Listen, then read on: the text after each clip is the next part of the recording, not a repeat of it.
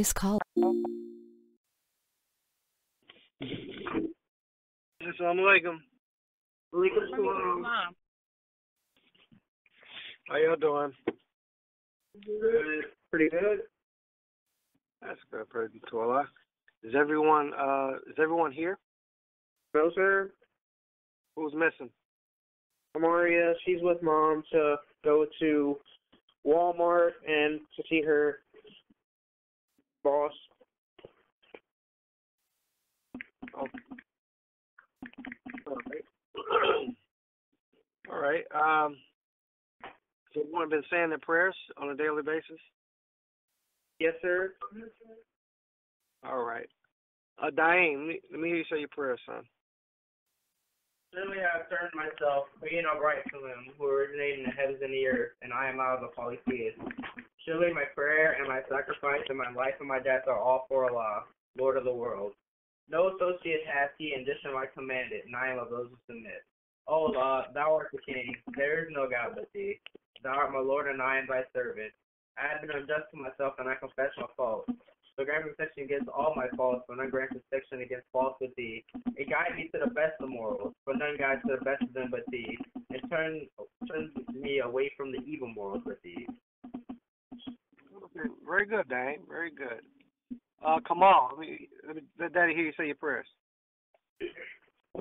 Surely I turned myself being upright to him who originated the heavens and and I know the polytheist.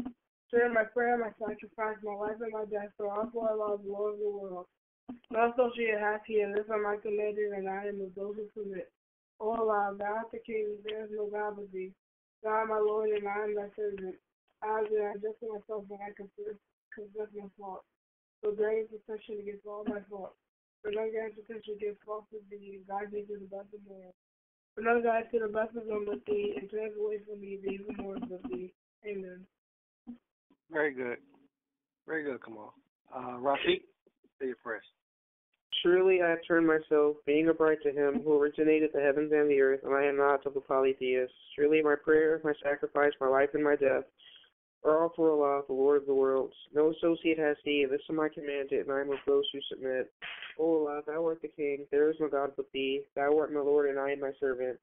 I have been unjust to myself, and I confess my faults. So grant me protection against all my faults, for none grants protection against faults but thee. And guide me to the best of morals, for none guides to the best of them but thee, and turns away from me the evil morals but thee. Very good. Very good. um hmm. Well I had to say I should have opened formally opened this meeting. And I will do so at this time. The name of Allah, who appeared and is in the person of Master Fard Muhammad. Assalamu alaikum. Walaikum salam. Um, before I start, I kind of want to just say a word here. Um, part of the uh, one of the motivations or one of the reasons um, that I'm teaching you Sunday school, what I'm trying to get across to you, is not only uh, the um, you know, the, the the truth concerning God, the devil, and yourselves, and that kind of thing.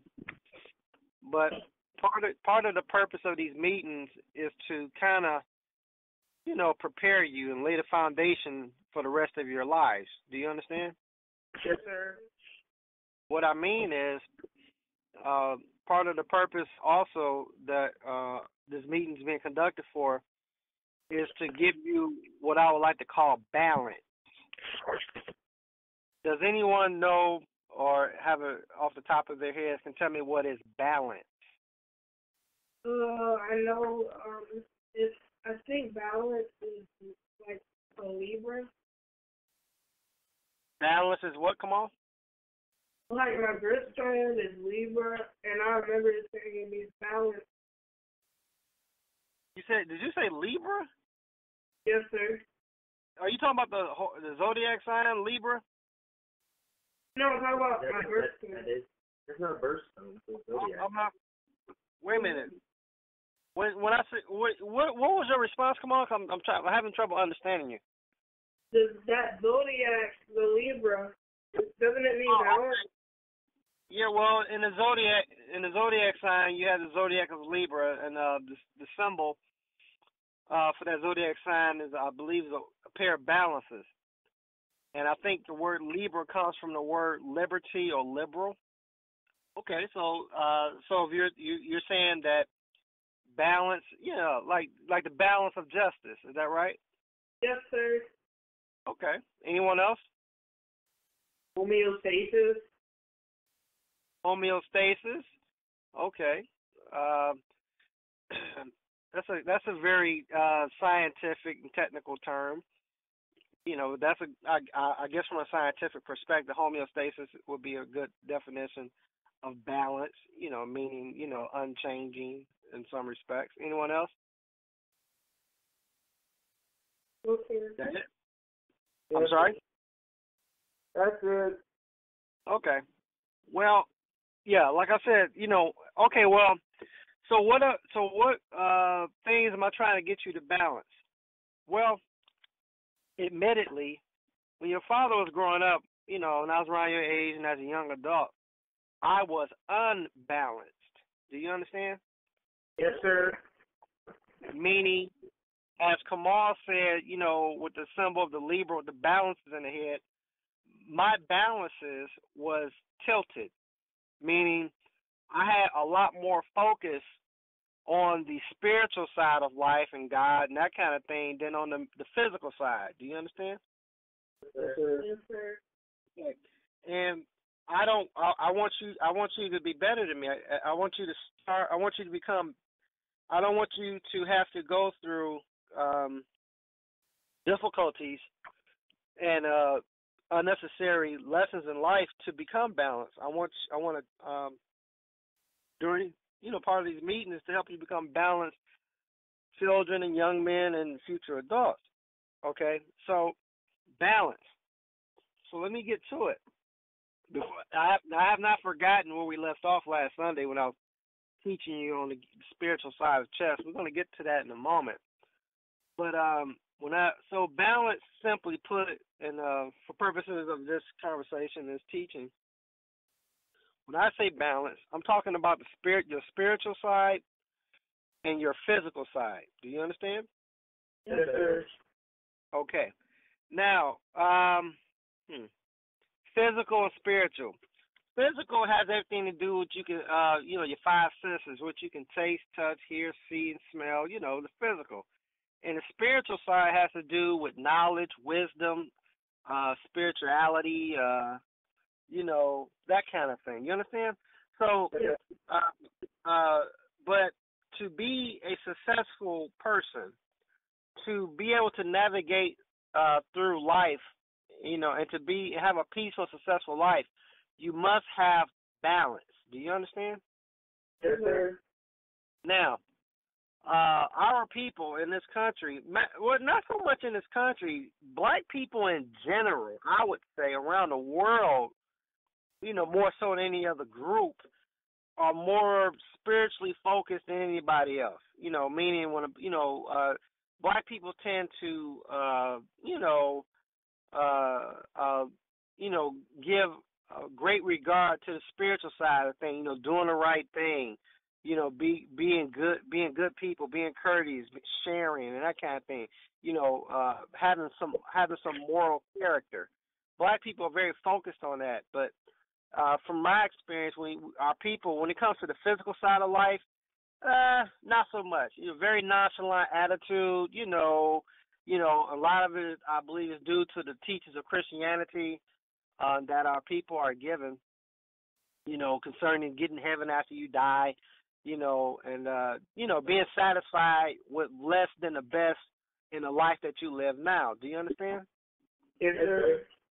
Yet, when they go to church, when they go to different spiritual places on Sunday or whatever day they go, you know, they don't settle uh, for second rate or or they don't consider themselves to settle for the second best understanding of God's word. They consider that their spiritual understanding and their spiritual service to God is, is the best, and they want and they want the best understanding, and they want to be as close to God as possible spiritually speaking. Do you understand? Yes, sir. Okay. Well, that's not balanced. Uh, I can I, I I will admit to you that I know of no higher goal than to want to be as close as possible to God and to be a completely and utterly righteous person, spiritually speaking. Uh, I, I think that's a, I, I don't know if there's a higher goal than that, but there's a physical side of things. So what am I getting at? when you you know, um, I believe it's in the theology of time. I, I, read it or heard, I read it in the Messenger, the most honorable Elijah Muhammad's teachings, when he was like the uh, the saying. There's a saying amongst us Muslims. We say, "Accept your own and be yourself." Well, the question becomes, what is your own? When it says accept your own and be yourself, what does that mean? Uh, do any of you want to try to tell me what does it mean to accept your own? Your own race. The Come universe. again? Your own people. Who, who, who, who say who said universe? Rafiq. Very good. That's the answer. The messenger, when the when the messenger was asked, or when he gave it the understanding of what it means to accept your own, that's in, in a word, that's what he said. The universe, everything that you see, Wait, Dad, everything. did you say? Did you say you said home? Sir, Did you say home? what do you what do you, what do you mean? Did I say home? I don't understand. accept your home or accept your own?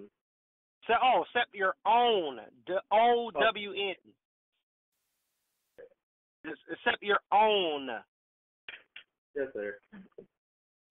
Okay, so to accept your own means to everything that you see, the the entire universe around you belongs to you. Do you understand? Yes, sir. That means the earth, the stars of heaven, the sun, every everything is yours. So to accept your own and be yourself means first of all to accept your own means to recognize and understand that everything is yours. You understand me? Yes, sir. Well, I have a question. I have a question.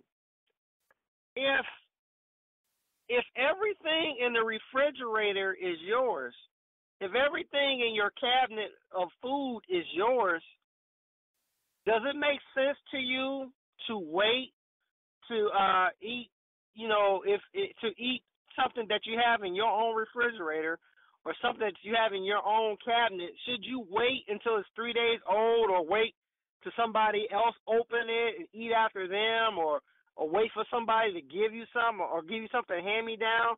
Or should you be able to get it fresh or whenever you want it? I mean if it's yours, how how should you regard for this example, you know, uh uh shouldn't you want the best out of your own refrigerator and your cabinet? Yes. Yes. Does it make sense to wait for someone else in the house to open a soda pop or open an ice cream when you go in there and open it yourself? Does that make any sense? No, sir. Okay. Well, that's what I'm trying to get over to you about life. You know, uh, you don't you don't have to settle. If you want, if you want, there's nothing wrong with having the best and wanting the best. You know, there's nothing wrong with wanting a palace or a mansion or owning your own country. There's nothing wrong with that. You you are not somehow getting further away from God because you desire the best of what is in God's house. Do you understand? Yes, sir. And as I told you before, what's in God's house is your house. God, Allah is your father. Like I'm your dad, or or your mother. Everything in your father's house is yours anyway. So how in the world would some could somebody consider themselves getting further from Allah or getting further from God when they are just accepting or wanting the best of what belongs to them in the first place? Do you understand? Yes, sir. Balance. Balance. In the book of Revelation, there's a, we're not going to go to it, but, you know, there's something written about that. You know, uh, it says in the days of the seventh angel, the seventh angel is a figure in Scripture. He is said to have one foot on land and one foot on water, meaning the physical and the spiritual.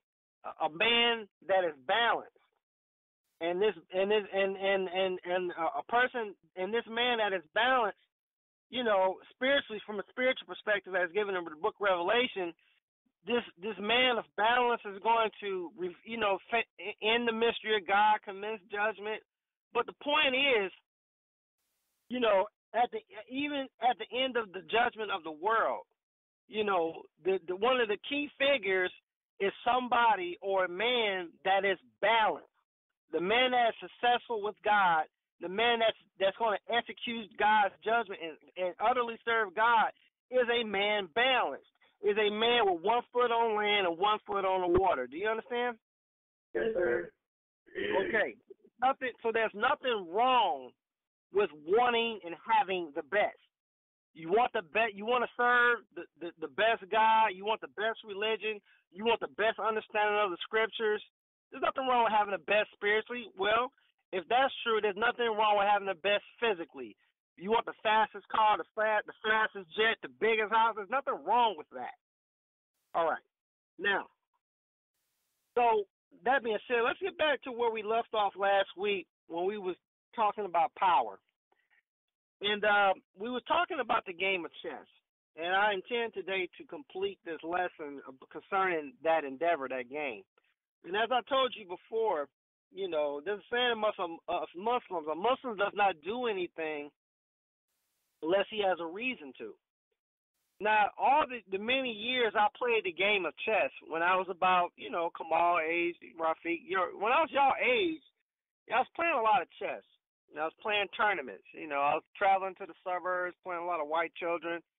And ultimately, when I got in high school, became a senior in high school, actually went to Atlanta, Georgia, we flew down there and played nationally. You know, we we uh, I played I played in state championships. You know, the last year, my senior year, we came in second. We should have won, but that's that's not the purpose of this conversation. But we uh, came in second in state of the entire state of Michigan. It was a black team of chess players that I was that I was captain of. Came in second place. We should have came in first. That's another story. Then that same year, we flew to Atlanta and we competed against all the uh, high schools across the country. We came in 25th. You know, out, the, out of the entire United States, this black uh, team from Detroit that I was the captain of, you know, was 25th in the nation you know, of America playing chess. So I played a lot of chess. And, and throughout those years of playing chess, you know, I was never, I never, I was never given a consideration the spiritual side of what I was doing. To me, it was just a game, and it was a very fun intellectual game. But I want to put you a little ahead of myself, you know, because, you know, it started dawning on me as I went through life. You know, at a certain point, I kind of start seeing people as chess pieces. You know, meaning that the game of chess kind of uh became a little real not literal. I didn't literally see a pawn and a rook walking down the street, you know. But I'm saying that certain people fit those roles. So anyway, uh, so I guess what I'm trying to tell you is I, I understand. You know, my you, you you play a lot of games. You play PlayStation. You play a lot of these games. But one game that you played that your dad can relate to that I played extensively is the game of chess. And last week I was telling you that you know about the queen. You know about um, the mark of a defeated or a conquered man. That his woman is captured like a queen on a chessboard.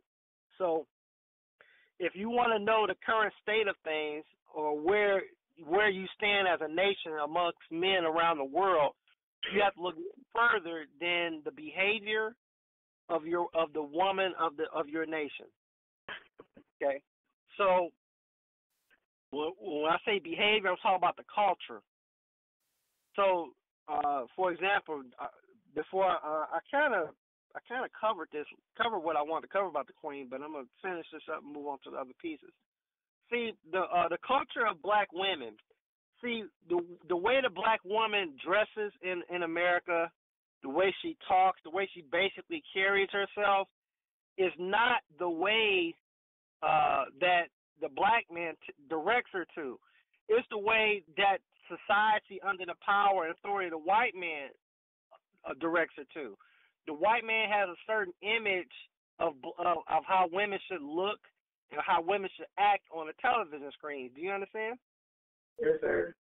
When you turn on the television, you see women wearing makeup. You do not see women with their head covered. You see women wearing, uh, you know, very suggestive clothing. So not only do you not you see it on a television screen, when you go outside, when you go to Walmart, when you go to school, you see the exact same behavior or actions in real life as far as the way they look and the way they dress. Do you understand? Yes, sir. Okay. Well, the the the, the decisions on how women uh, present themselves publicly, the way they dress, makeup, and and and the way they look and act, that is being directed under the that that is being that that uh, way of life or the way that they do things is from the point of view from from a European Caucasian perspective. Do you understand? Do you understand? Yes, sir. What are you doing? I didn't. Are you doing something else besides listening to me? I don't know what is doing. He's like flipping over a chair or something. There's, I'm sorry, Dad. There was something under his chair Well, you didn't have to it on the ground. Are Are you done?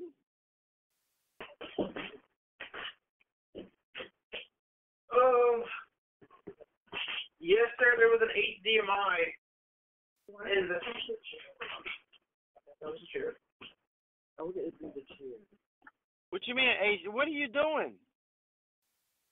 Uh, there, there was an HDMI cord like in the chair, and it was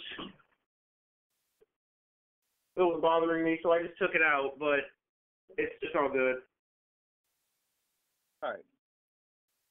So anyway, back to the queen. So the one, so the uh, the the the uh, the women, or particularly the black women in this society, dress and present themselves in a way, you know, uh, that they are basically told to by this society. Do you understand? Yes, sir.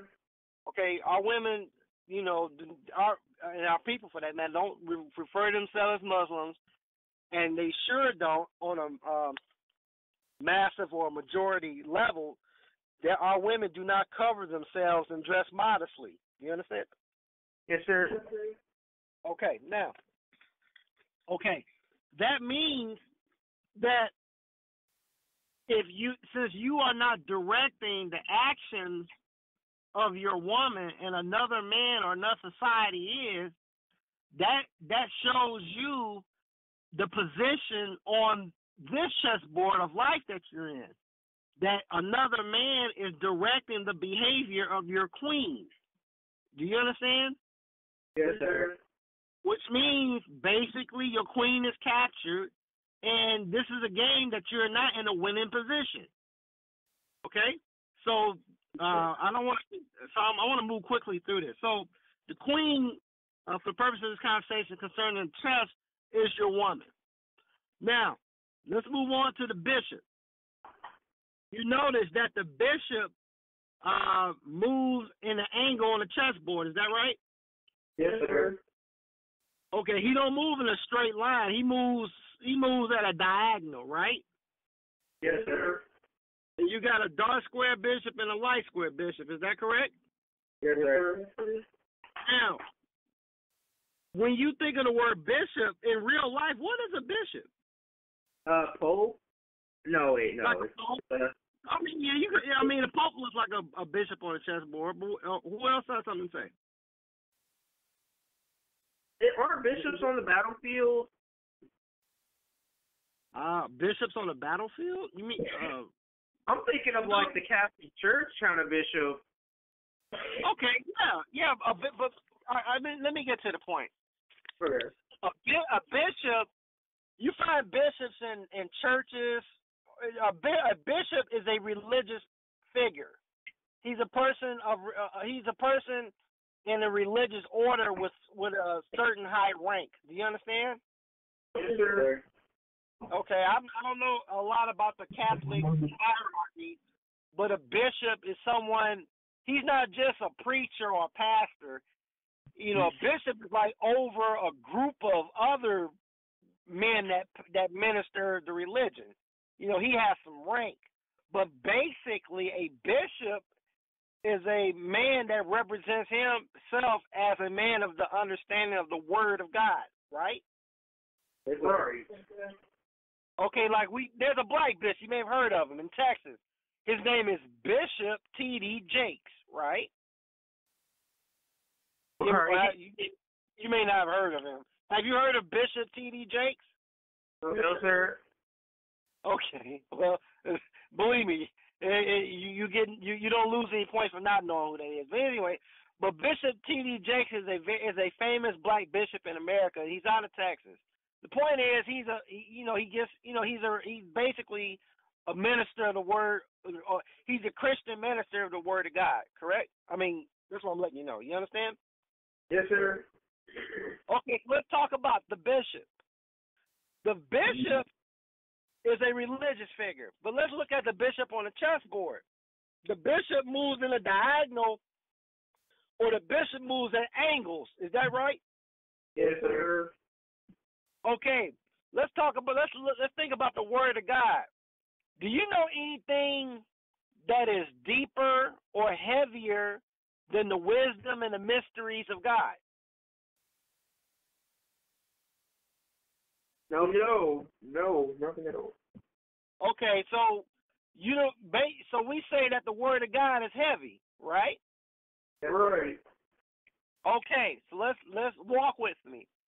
When you want to pick up something that's very very heavy, let's say a boulder or some very very heavy object, generally what you would do if you're trying to lift this thing, you would get a very long stick or a pole, you would stick it under the heavy object and try to get leverage. Is that right? Yes, sir. You don't like, you know, stand there and like and try to pick it straight up because it's too heavy. Is that right? Yes, sir. You got you kind of got to get it at an angle to roll it. You know, uh, stick stick something under it and kind of get some leverage. You got to kind of get it at an angle to move it. Is that right? Yes, sir. Okay, that's what bishops do. A man or a man of with the word the word of God is heavy. Okay?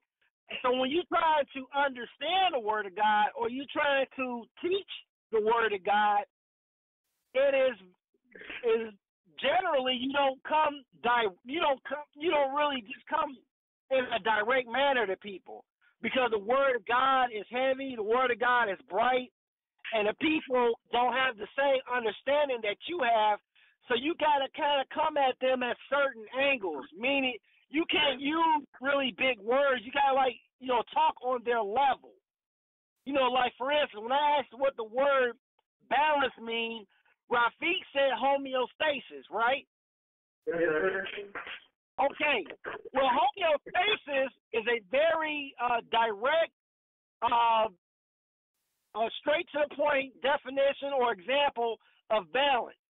But would you, if I asked you, if I was to teach the word balance, let's say I was teaching 10 million people, right? Do you think I would use the word? Do you think 10 million people will understand the word homeostasis? No, sir. No. That's that that's too big of a word, right? Yes, sir. Okay, so if you got some heavy lifting to do, you got to come at people at angles. You got to use different words. You understand? Yes, sir. Okay, so the bishop on the chessboard moves at angles. Because that's how the bishop moves in the real world.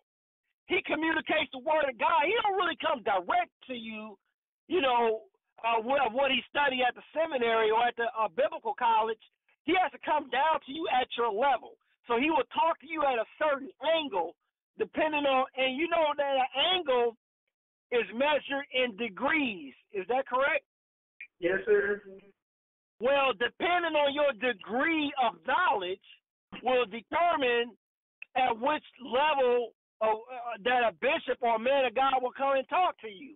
Because people are at different degrees of understanding or different degrees of education. Is that right? Yes, sir. So if people are at different degrees, it, that means that people are at different angles. And if you want to get to the people, you got to move at a certain angle depending on who you're talking to. Is that right? Yes, sir. Therefore, the bishop moves at an angle, right? Yes, sir. Okay, on the chessboard, the bishop is you got a light square bishop and a dark square bishop. Is that right? Yes, sir. Now, if you've seen a movie like Star Wars or watched a cowboy movie, typically speaking, a person on the light side is a good person, and the person on the dark side is a bad person. Is that right? Yes, sir. All right. But in the game of chess, you got a light square bishop and a dark square bishop. To the with, with Rafiq, Daim, and Kamal, when you got a chess, when you're playing chess, is the dark square bishop good or is the light square? Does it matter? Do you? It, let me slow down. When you when if when you're looking at your dark square bishop and when you're looking at your light square bishop, are either one of them bad? No, sir. So they both serving your purpose. Is that right? Yes, sir. Okay, let's look at the white man. The white man, you got light square bishop and a dark square bishop. You got, for instance, you got like people like the Ku Klux Klan. They are referred to as the Christian Knights of the Ku Klux Klan. And then you got other Christians, you know, uh, the Church of God in Christ, the Baptists. You got, you know, uh, certain uh, white folk or white ministers that obviously are racist. You got other white ministers of the Christianity or the white man that's not so racist. Is that right? Yes, sir. Light square and dark square. Is that right? Yes, sir. But to the white man, there he don't care whether that that minister is a dark or white, a dark square bishop or white square bishop, because those ministers are serving him. Because when oh, let's let's let's back up for a moment. We were we have been enslaved when we started our sojourn in slavery in America for over 400 years. Is that right? Yes, sir. Now, do you know who the first person basically that the white man sent into Africa before he were enslaved? Can you say that again? You know who the white man sent to Africa before he enslaved us? To Africa? Um, the no. Okay, I will tell you. He sent Okay. Christian. He sent Christian ministers teaching Christianity to the black man before he enslaved us. Do you understand? Yes, sir. Because in Africa, there we were not Christian. We had different uh, Yoruba religion, and we were also Muslim, but we were not Christians in Africa. Do you understand? Yes, sir. So the first person he sent in before he enslaved us was his was his ministers. Do you understand? Yes, sir. Then after he sent his missionaries in Africa, he enslaved us. Is that right? Yes, sir. Let's talk about let's look at America. When the white man first came here to America, who was the first white people that came? They were pilgrims, right? Yes, sir. The Amish, pilgrims. They were good white people, religious white people, right? Yes, sir. When the Indian first met the white man, he didn't meet the uh, white man in the army. He met pilgrims, the white people that landed on Plymouth Rock, the people with the big hats, the people that sat down at Thanksgiving dinner with him. They were righteous, good, religious white folk, right? Religious, right? Yes, sir. Then after the pilgrims came in, then the white man sent the uh, his other people in, and they started murdering the Indians. Is that right? Yes, sir. But before the Indians got slaughtered in America, the first white people that the Indians seen was that religious white man, that pilgrim, the Amish, these good white folks. Is that right? Yes, sir. The bishop comes in first at an angle. He don't come to you direct. That bishop, when he came to America, he didn't tell the Indians, look, we want the whole country and we're going to kill you. He didn't say that. He said, brother, let's break bread. Let's have Thanksgiving. Let's share. Right? Yes, sir. And you got Thanksgiving coming up in a couple weeks. And Thanksgiving was a dinner that symbolically symbolizes the betrayal of the white man to the red Indian in America. And they celebrate every year how they tricked the Indian and took America. It's called Thanksgiving, right? Yes, sir. So think about the word Thanksgiving. Think it's two words, it's a compound word. Thanks and giving. It's it's a mockery. The white man telling the Indian, "Thank you for giving us America." Do you understand? Yes, sir. Well, let's get back to that white square bishop and that light square bishop. Let's go back to Africa. So the first people he sent into Africa was Christian missionaries, good religious white folks. The same white folks that like the same game he ran in America, he ran in Africa. Do you understand? Yes, sir. The same game he ran in America and Africa, he ran it in Australia. Do you understand? Yes, sir. He ran the same game all, all around the world. When the native, darker people first met the white man, they all met good, religious white folk. Do you understand? Yes, sir. So let's talk about what happened. In Africa, the white man sent that white square bishop in. That white that that bishop that taught good things. The what the the, the, the bishop that uh, was very friendly to black people. Do you understand? Yes, sir. Okay. Once he sent that bishop in, then he started sending his, his enslavers in Africa, put us on boats, and brought us to America. Is that right? Yes, sir. And then what happened? Guess what happened? When we got to America and we became slaves, we didn't see the light square bishop. The dark square bishop was in America. The dark square bishop was teaching slave obey your master. The dark square bishop was teaching that we were the cursed people of Noah. The dark square bishop was teaching that black people are cursed. The, the the the dark square bishop was teaching that black people are heathens. Do you understand? Yes, sir. See, the white square bishop in Africa taught good things. He said, We're gonna give you gold if you if you come with us on this trip to America.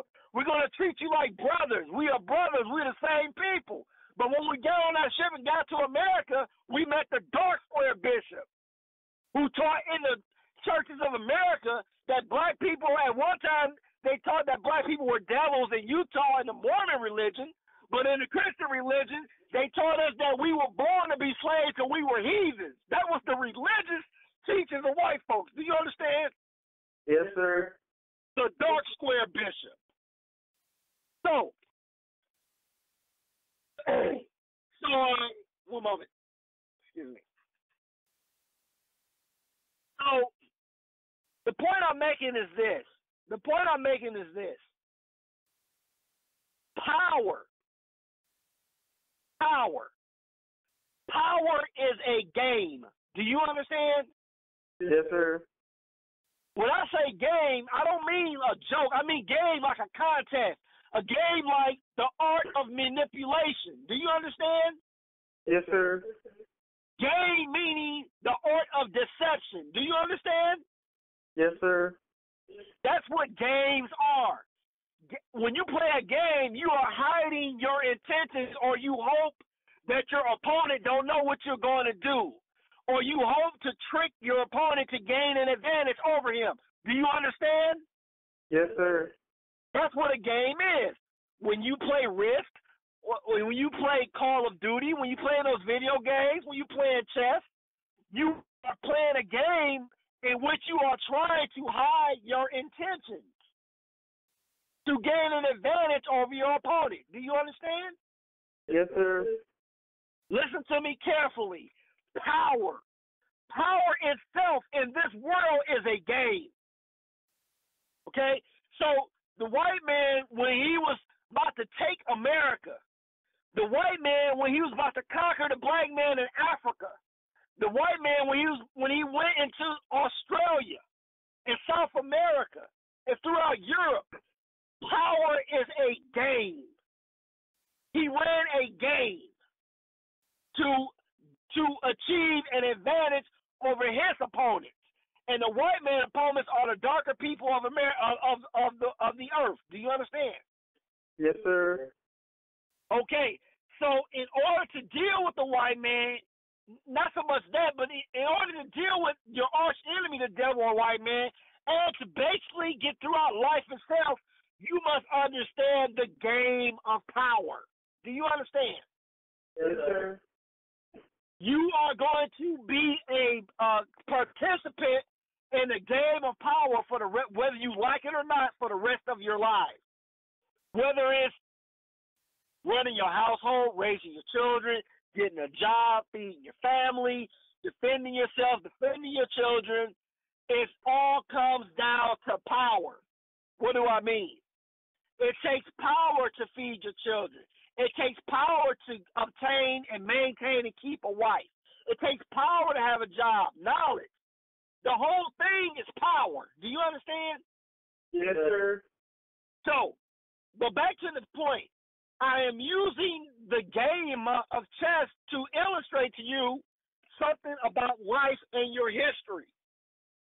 So, what I'm making in closing is this if you're going to partake of a game, such as chess, if you're going to spend time doing anything, for instance, playing a game of chess, for example, get something out of it. Don't let it be something that you just merely waste time on. If you're going to play the game of chess with your brothers and sisters, whoever, try to get a spiritual understanding of what is this game really talking about, or what is it about this game that can truly serve me in my real life. Do you understand? Yes, sir. Because by getting an understanding of this game of chess, if you can understand this game, you can see this white man coming from a mile away, and you can begin to understand how he did or does what he does around the world and to you and me. Do you understand? Yes, sir. Mm-hmm. So, next week we're going to talk about the knight. We're going to talk about the rook and the pawn. But before I close, one moment. Yeah, we could finish here if you want.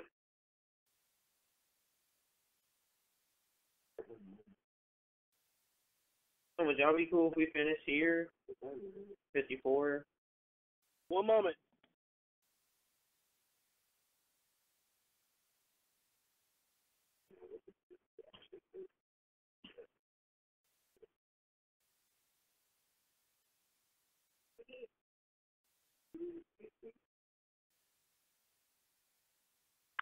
I'm back. Now, who who who's asking me? Who who is still talking?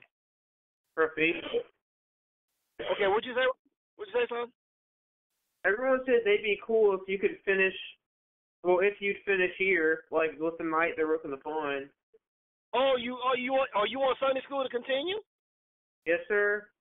Oh, okay. What about what say you, Dame? You want to hear more? Yes, sir. Oh God. Well, how about that? even even Mr. Excellence wants Sunday school to go on. Okay, well we'll continue. One moment. All right. So let's talk about let's talk about the knight. Okay. One moment. Uh, Daim, how does the knight move on the chessboard? Two uh, spaces up and one to the left or right, or two spaces to the right or left and one up or down. Okay. Wait, so no, wait, no. knight, huh? It's it's Go ahead. up one over Okay. two or up with one. Yeah. Any direction. Okay, the the knight the knight moves in an L shape. Is that correct?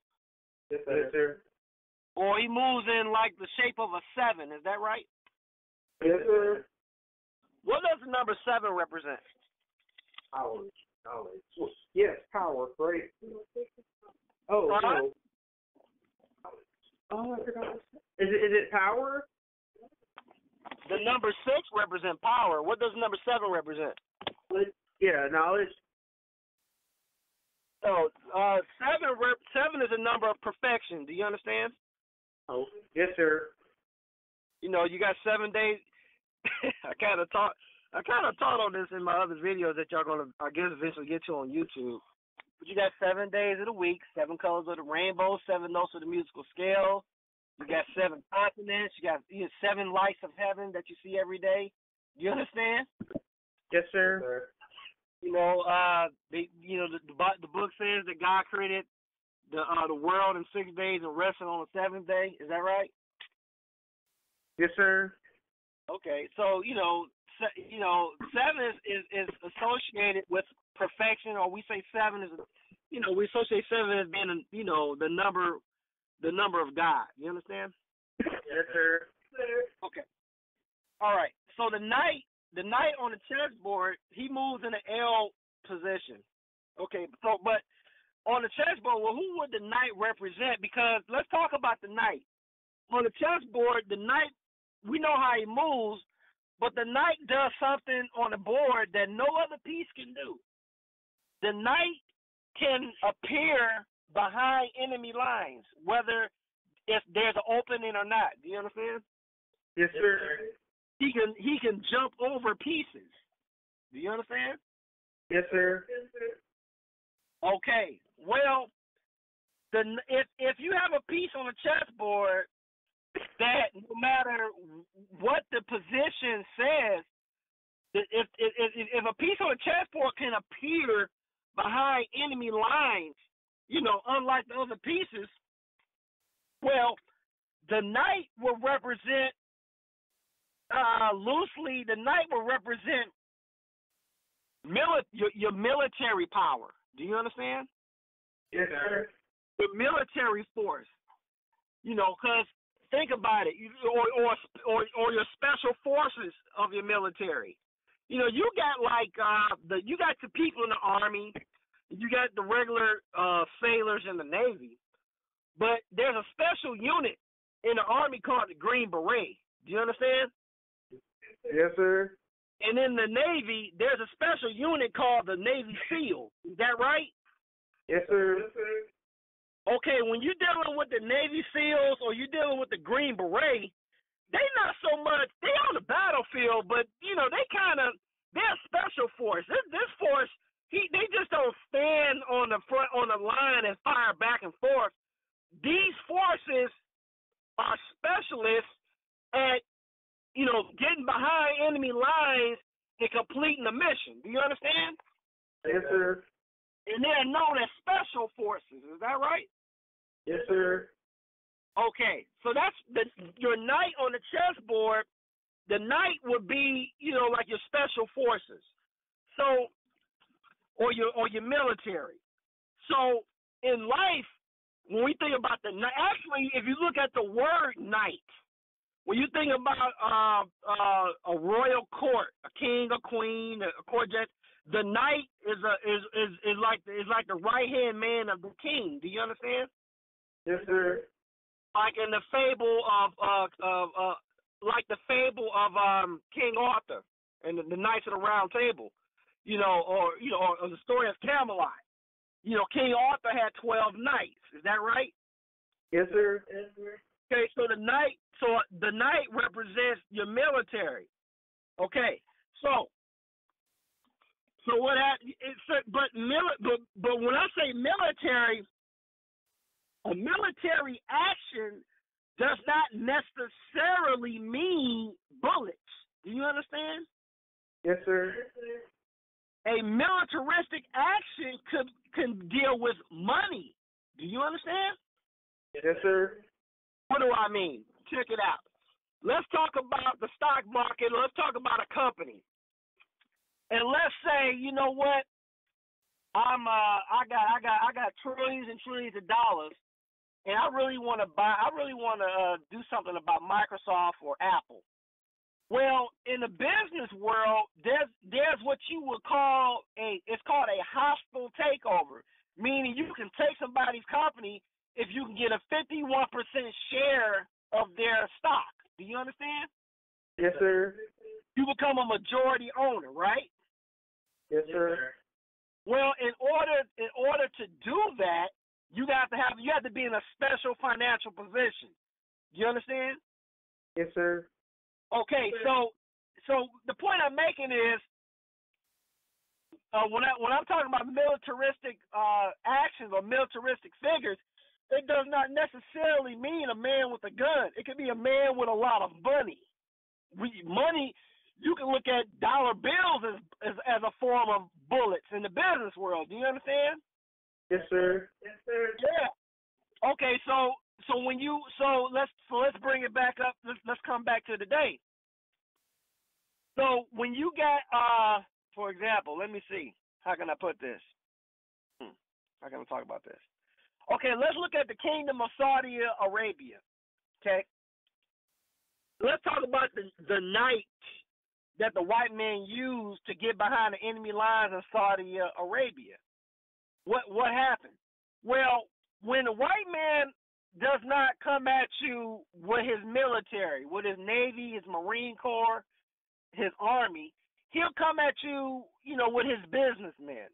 Whether they be in Saudi Arabia, whether they be in Ecuador or some other uh, or Colombia or some other third world country, if he does not invade, get behind your enemy lines or get in your country with his military, he'll send in his businessmen. What do these businessmen do? Well, they'll go to a country like Chile or Ecuador, and let's say they go to Guatemala, for example. Let's say let's, let's say that the main export of Guatemala is bananas. Okay, and you want and you're trying to do business. You trying to uh you you trying to exploit the country of Guatemala. Well, how would you exploit the country of Guatemala and not use your military? Well, you will use your your your your fi- your financial men to do it. You can send a businessman down there, and he can get with the upper class. In these third world countries, there's a hierarchy in every society. So if you were in Guatemala, you got the peasants, you got the workers, you got and all the way up to to the elite rich people of any country. Do you understand? Yes, sir. Okay, so what so what you do when you try to invade a country for its natural resources, you send in your businessman to do deals with the rich or the elite of a country. And what happens is the businessman will make a the the the, the white man's financial uh, military, so to speak. They'll make a deal with the rich people of the country to take their product, but the poor people of that country will suffer. Do you understand? Yes, sir. They'll tell they'll tell the rich person of this third world country, look, we'll give you uh, millions of dollars. You can, we'll give you all the wealth you want, but sell us these bananas at a half cents per pound, right? Yes, sir. Okay, well, if you're going to get bananas at a half cent per pound, and you're going to give all the money to the rich people of that country, what happens to the rest of the people of the country? They suffer, don't they? Yes, Yes, sir. sir. They don't have that. Okay, so there's a book I read a few years ago. It's called The Confessions of an Economic Hitman. So, but the, it's by the about, about a white man named John Perkins. But the point I'm making is, he he you can you can you can uh influence and overtake a country with money. Okay, so you can uh you can exploit a country's uh, resources just by making a contractual deal with the rich people of that country. Do you understand? Yes, sir. Yes, sir. Okay, uh, so so we talk about getting behind enemy lines. Well, we know one way to get behind enemy lines with the military. Another way to get behind enemy lines is with money. Is that right? Yes, sir. Let's talk about another knight. Another way to get behind enemy lines. Let's talk about culture. Let's talk about music. Let's talk about television. Do you understand? Yes, sir. Yes, sir. Like you go like for instance, you can take the if you're trying to uh influence or take over a country, you can do it with with your culture. You can you can start uh you can uh try to uh get your uh television broadcast or your music broadcast in a country. And if the country allows you to do it, you can put ideas into people's minds about how they should live their lives through music and through television. Is that right? Yes, sir. For instance, you can go to a country like Iran, where basically all the women are covered up and are basically trying to be righteous people. But if you can somehow get behind enemy lines and get get to the people with your music, you can put ideas in the music. Or if you can broadcast certain uh, television shows with certain ideas or certain, or women acting a certain way through television and music, you can begin to change the minds of the people through culture. Do you understand? Yes, sir. Getting behind enemy lines. Okay, so that's the knight. The knight is a piece that move a, a, uh, uh, uh, a piece of a, a special piece that can get behind enemy lines. Well, that can be your military with special forces. That can be your your, your very very rich businessman with special finances, or that can be your culture. You understand? That that's those are your knights. You understand? Yes, sir. One moment.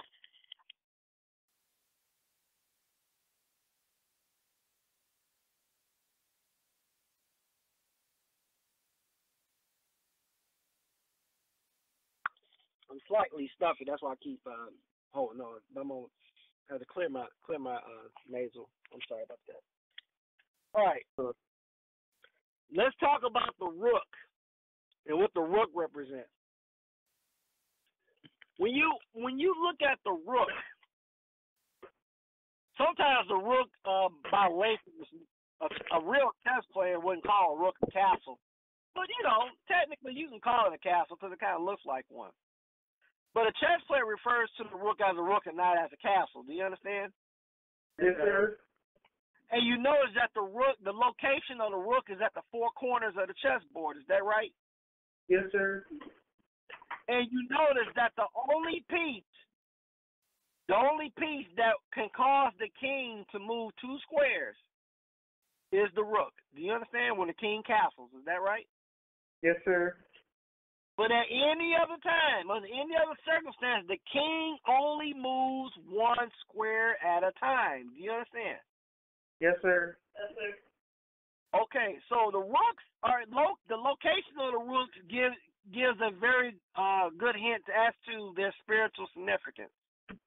The rooks are at the four corners, right? Yes, It's sir. something. So the rook is the rook kind of is like a pillar.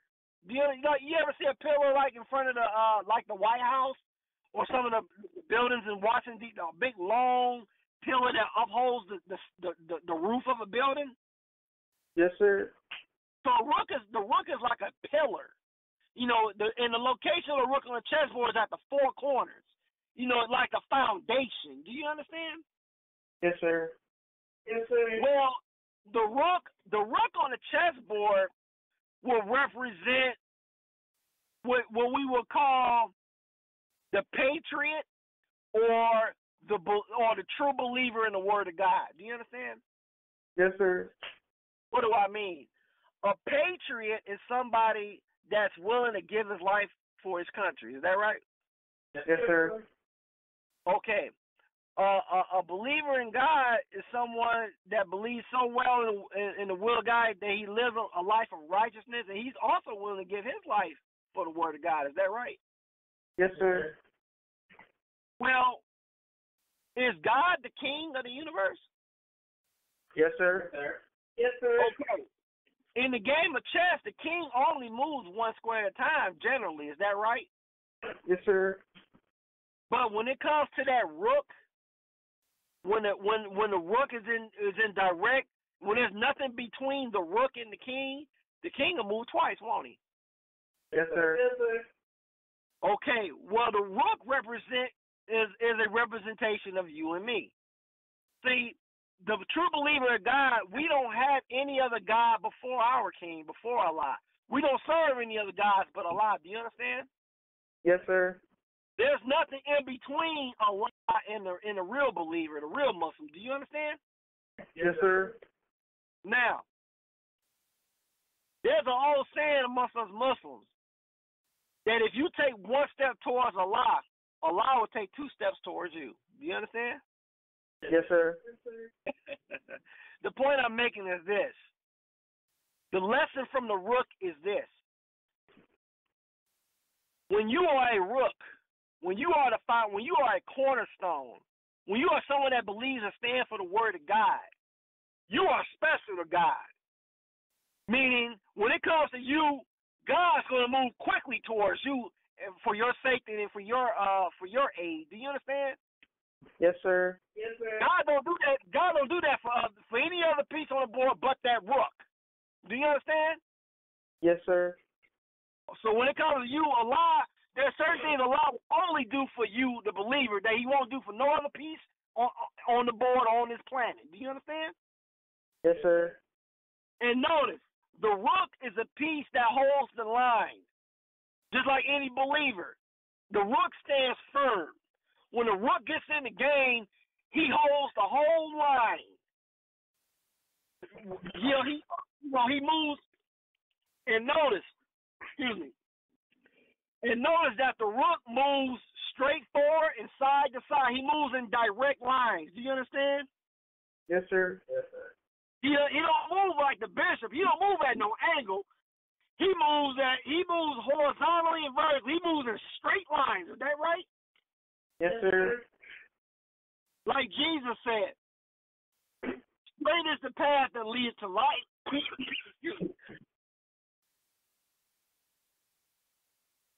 Pardon me.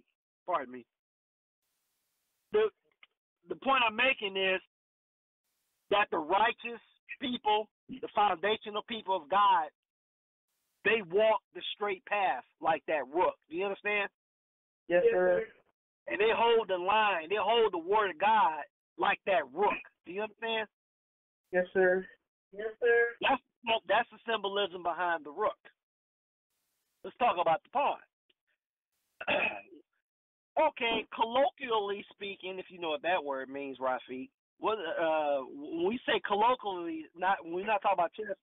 When we say something, when we call somebody a pawn, colloquially speaking, what do we what we, what are you saying about a person that you call a pawn? You could control them, Right. right? Exactly. If a person is a pawn, that's somebody that's you know that's basically a pushover or somebody that you can control. Is that right? Yes, sir. All right. But to talk about the pawn, you know, the pawn has a very unique uh situation on that chessboard. The chessboard means a whole lot to that. I think the chessboard means more to the pawn than any other piece on the board, including the king. Because when the pawn reaches a certain level on that board, he changes. Is that right? Yes, sir. So let's talk about the chessboard. How many uh uh horizontal squares are there on the chessboard? 84. Wait. 64? I mean, not six, 84. How many, 64. I, I'm sorry, I'm sorry. How many how many how many squares comprise a row on the board? Oh, eight. How many squares comprise a vertical uh, com, uh a a column on the board? Eight. Okay. Now, if there are eight, if there are eight squares in a column vertically and eight squares in a row uh, horizontally, how many squares total do we have on the entire chessboard? Sixty-four. Okay, so the so the chessboard is a perfect square. Is that right? Yes, sir. All right. Now, let's move. Let's move a little forward. Let's talk about the chessboard is composed of of of, of, of rows and squares that are composed of eight. That's that's that's in that's composed of eight squares apiece. Is that right? Yes, sir. All right. So let's talk about the number eight. What does the number eight represent? Infinity. Correct. The number eight is the same figure as the infinity when eight lays on the side. Is that right? Yes, sir. Okay, infinity. Wow, let's talk about that for a moment. What does infinity mean? Everything. Never everlasting. Everlasting. Very good, come on. Boy. Well, is the truth everlasting? Yes, sir. Yes, sir. Is the truth infinite? Yes, sir. So we can we can associate the number eight with truth. Is that right? Yes, sir. Okay, let's talk about that pawn. Remember, Rafiq told you that a pawn, when we talk about the colloquial, uh, colloquially speaking about a pawn, a pawn is some is somebody that's easily manipulated. Is that right? Yes, sir. Are people very easy to manipulate once they learn the truth? No, sir.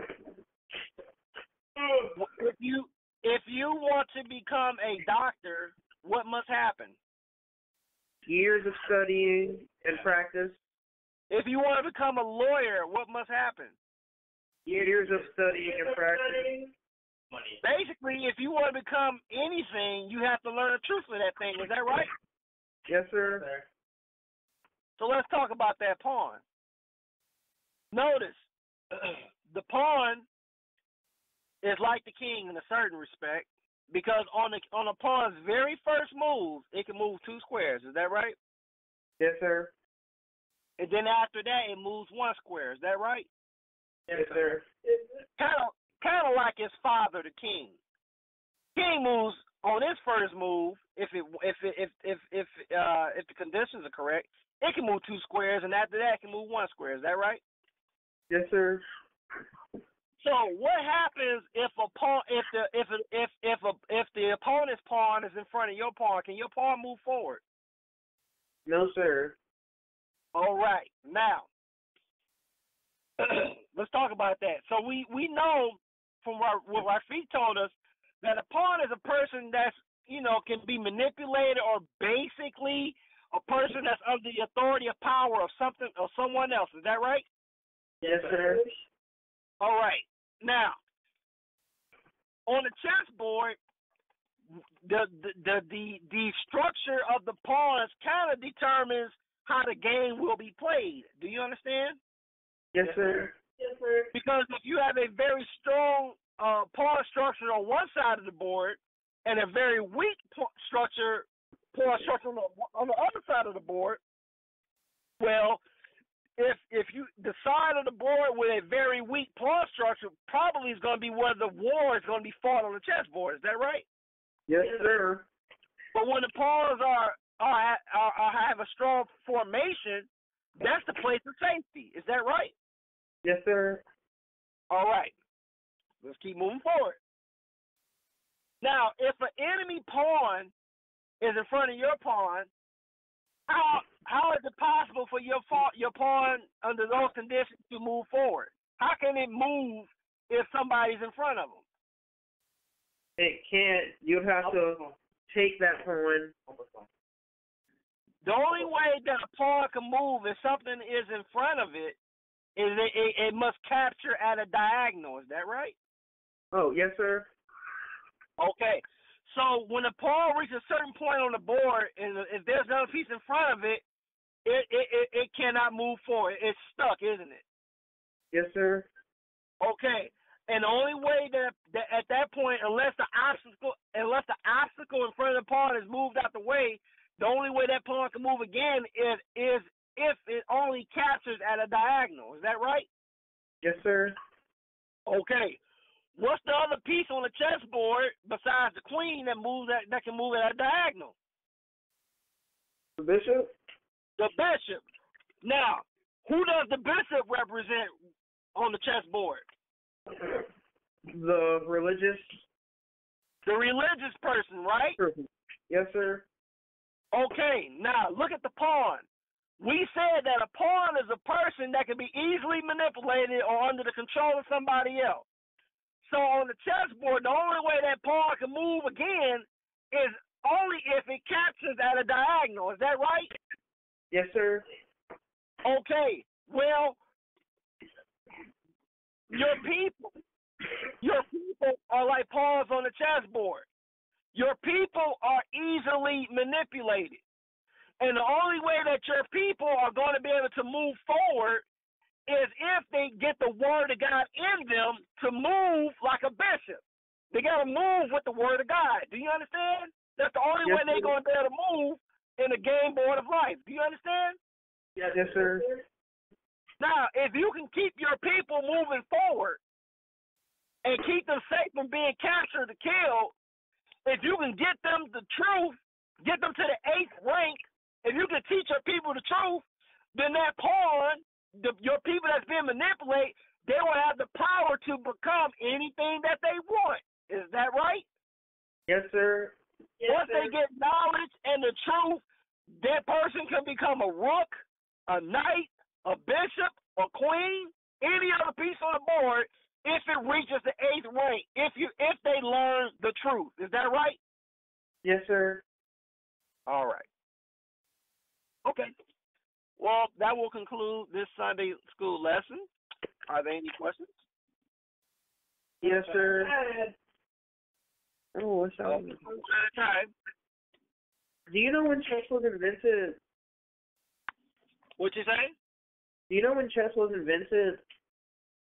Oh, I, man, I, I really don't know. I think it was. It's.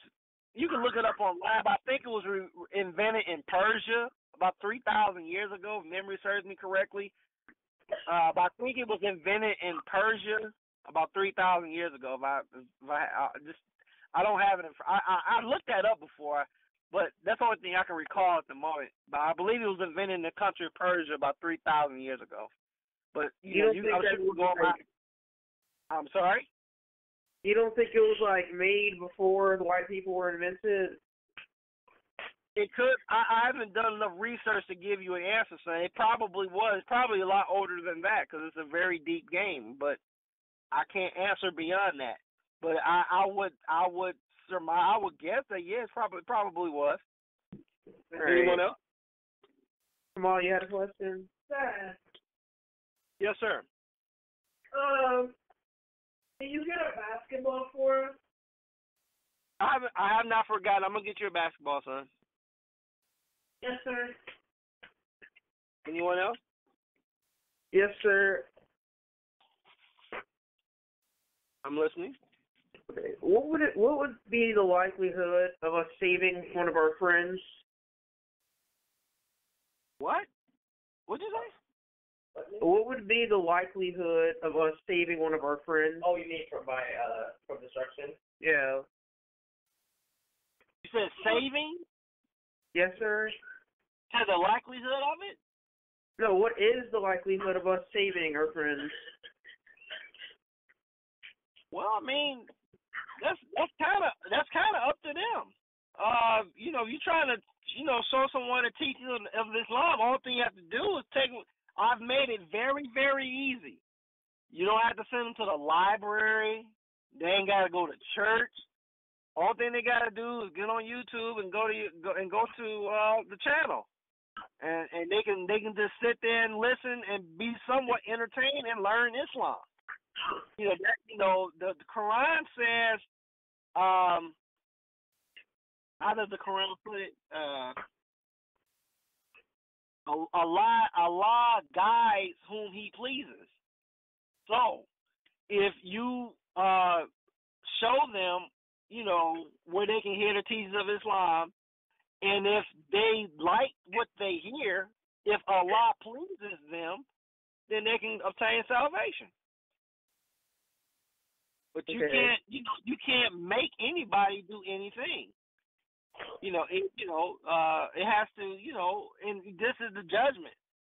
You know, the people that's going to, to answer your question, the people that will be saved are those to whom the truth is appealing. If the truth of this of Islam as we teach does not appeal to them, there's nothing you can do for them. You know, uh, we kind of touched on this when we talked about the spider, kind of why this world was built. You know, if you're walking along, Rafiq, in the field or you know outside, and you pass under a tree or walk by a bush, and you see a fly in a spider's web, do you destroy the web to save the fly, or do you just keep walking or watch the spider eat the fly? Uh, I do like both, depending on how I'm feeling. Okay, that's a, that's a, fair answer, but you know, technically, morbidly speaking, you know, uh, I can only speak for myself. I mean, probably as a child, I probably would did what you did, but if I'm walking along and a fly just hit a spider web, I will stand there and watch to see how fast that spider can get to that fly. Do you understand? Yes, sir. I'm just being truthful about the matter. The point I'm making is this: this world that you that you the point I'm making is this, Rafiq. This world that you are in was set up and built to trap the unrighteous. Do you understand? Yes, sir. But they don't have to be trapped. And the way they did, they are not to be trapped if if they uh they want to be righteous people and love righteousness and love the word of God. But if they're not righteous and they don't love the word of God, this world will trap them. This oh, what this is why this is why this world is here. So those that will be saved are those upon whom the word of God pleases. If the word of God don't please them and they don't want to hear it, I mean, you can either be sad that they're in that spider web, or you can kind of just sit back and watch that spider destroy them. It's up to you, or you can just keep on walking and not even look at it. But if they're if they're trapped in that web, they're trapped in this world, and they don't want to get out. You can look or not look. The spider gonna destroy them. You understand? Yes, sir. Anyone else? Yeah, Ed. One at a time. Uh, when the judgment comes and all the white people are gone, would that be painful or like would they just disappear? So will it be painful? Or will they just disappear?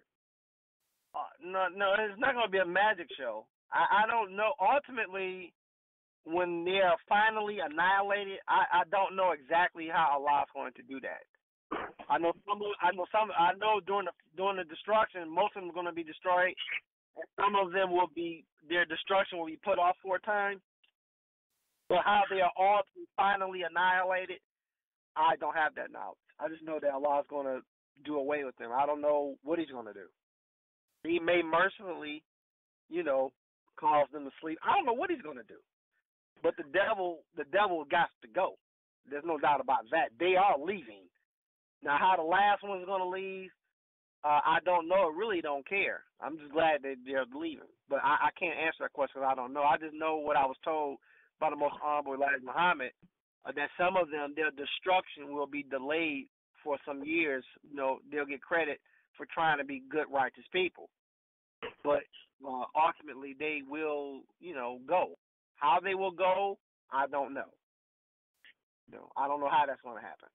I, I would imagine, if you just want my guess, it will be done in a very merciful manner. I can't imagine a lot, you know, if he sparing them just to, you know, just to hurt them or something like that. I'm sure it'll be mercifully done.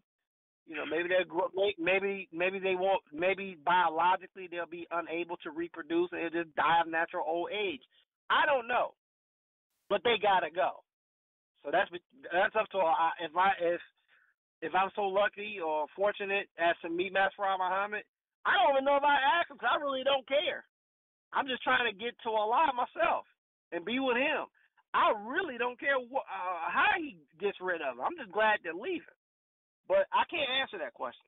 You know, I would imagine it will. Be, it will. I guess the best answer I can give you at this time, it will be mercif- mercifully done by Master Fard Muhammad. Next question. Oh. We're still gonna have like video games when the destruction's over, right? What?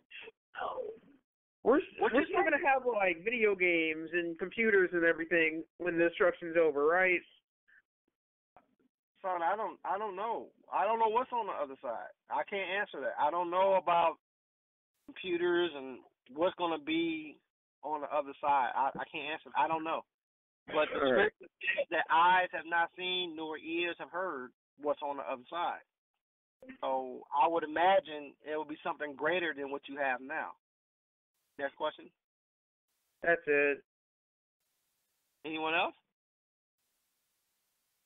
No sir. All right. All right. Well, it's been a pleasure uh, spending this Sunday evening with you. May Allah bless and keep you all. Uh, I will. Uh, I have not forgotten about your request for your birthday, Kamal. Just give me another week or two. I'll have it. You. You have your your ball. Whatnot. Okay. If there are no more questions or concerns or statements, I greet you I came in the name of Master Mala- Master Fard Muhammad, who is alive and well. Assalamu alaikum. Wa alaikum salam.